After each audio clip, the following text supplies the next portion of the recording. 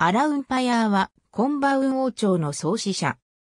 あるイギリス人の報告によれば、当時としては大柄な180センチメートル近くの体を持ち、天然痘の跡が顔中に残っていたといい、加えて、1760年アユタヤ遠征時の道中で地元の住民に加えた残虐行為が重なり、大族のみならず、ビルマ人や配下の管理まで怯え上がらせたという。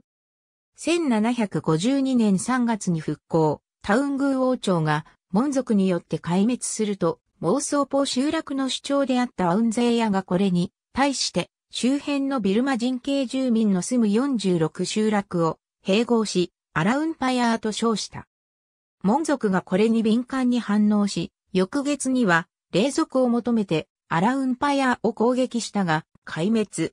援軍も駆けつけたが、大きな打撃をかぶって交代した。この後門族は、現在のタイにあったアユタヤ王朝の攻撃を受け始め、ゲビルマへ移動したため、中央部での門族の脅威が消滅することになった。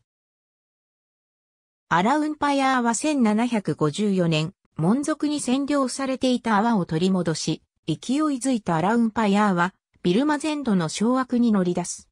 翌年、アラウンパヤーはタゴンを陥落させ、ラングーンと解消した。1756年には、門族の中心地ペングーを陥落させたが、翌年の1757年には、門族の徹底抗戦派による反乱が起きた。アラウンパヤーはこれも収集し、同年までに、シャン族の各地の土工がアラウンパヤーに基準し、国内の統一は完了した。1758年に再びマニプールに攻め込み、インパールを占領した。その後は軍を東に転じ、アユタヤ王朝の属国化を狙って、南高フラクと言われたアユタヤに攻撃を仕掛けた。アラウンパヤーの軍は1760年4月までにアユタヤを包囲。アユタヤ軍は城壁を閉ざして攻防した。1ヶ月後、雨季の訪れによって、アラウンパヤーの軍に疫病が蔓延し、敗北した。アラウンパヤーも、このアユタヤで崩御するが、アユタヤ年代記によれば、アユタヤの撃った大砲に当たって崩御したことになっている。一方でビルマ側の資料では、他の兵卒と同様に熱帯性の伝染病にかかって崩御したとされている。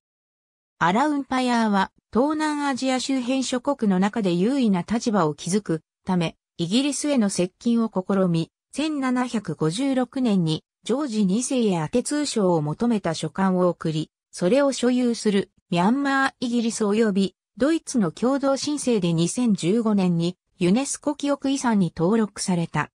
The Golden Letter of the Burmese King Alaungphaya to King George II of Great Britain, Memory of the World UNESCO。ありがとうございます。